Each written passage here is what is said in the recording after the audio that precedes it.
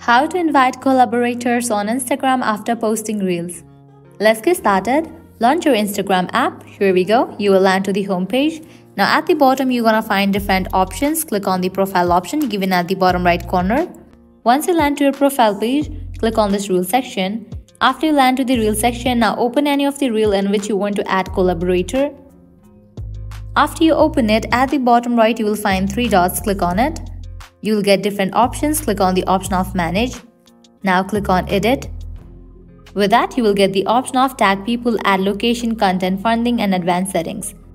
Right now, you are only able to tag people in your Instagram reel after posting. So in the case you want to add a collaborator, what you have to do is you can delete this reel and re-upload it. That way you can invite collaborators on Instagram reels.